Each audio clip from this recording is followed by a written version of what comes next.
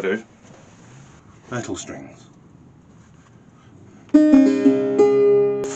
Yeah, it's the same thing really. That these two outside ones are the same gauge string, the first string and the fifth string, and being the thinnest strings, they're most likely to break. These are essentially the same four strings as as the top four strings of a guitar. So you've essentially got two first strings. So if you bought the gauge of wire that the string is, it, it's well worthwhile. Well cheaper. And unlike fishing wire, fishing line, uh, you can buy this sort of thing in reasonably short, reasonably short lengths. So I think that might be my first string, is it? One of them. So this is what's the gauge on that? Oh, I can't see. I could tell you. but it's thin. and I again I prefer a non-wound string for my fourth string. Yes. So I just wanted to point out about metal wound strings like this. So it has a a steel core and then metal is wound around that.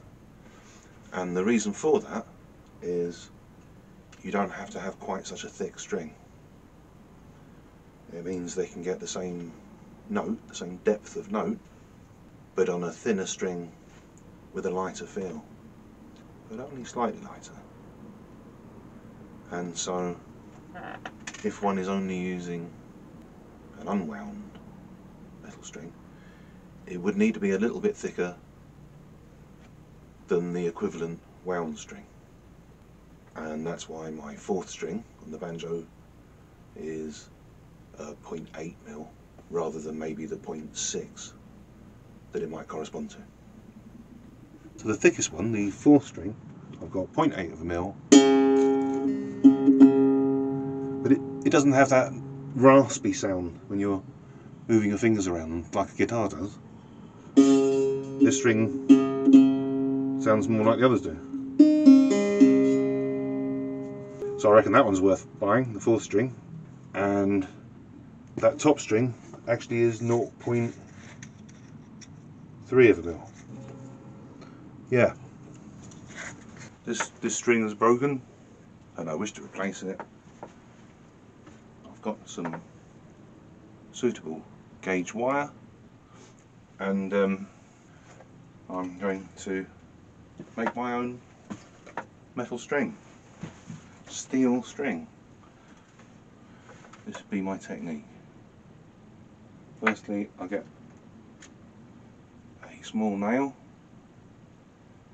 something like the sort of nail you'd have on a cable clip, something that's small enough to pass through the eye of the ball end but not pull through.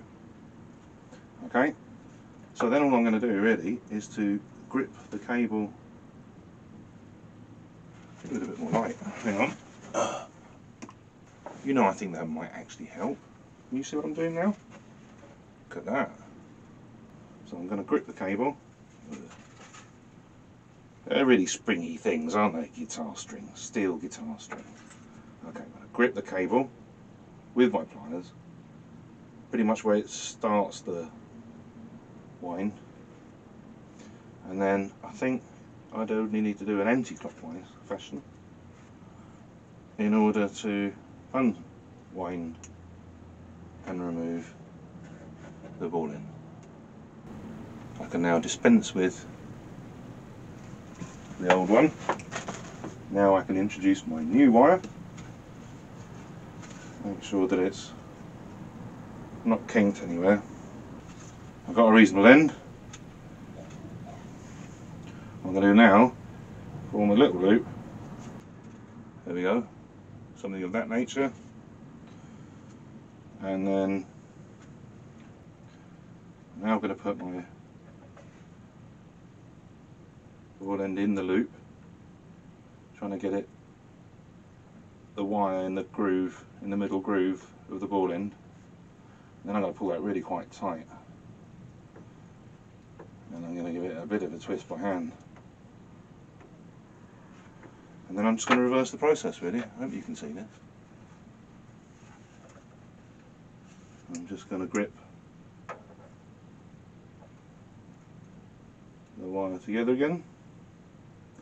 And this time I'm going to go clockwise. I don't know what I've decided is clockwise and what isn't. But go the opposite way.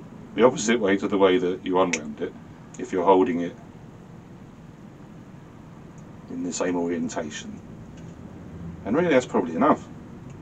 You don't want to over twist it because you might snap it. Um, but I can take I can take my nail out now. No idea where it flew off to. Take the nail out now. And there we go. My new ball end string. And I can cut it any length I want. So if I've made the mistake of making my peg head or uh, headstock much longer than usual and standard strings don't fit, it's no longer a problem. I can make them any length I like now. Uh, I hope this was of some help. Thanks for watching. Over and out.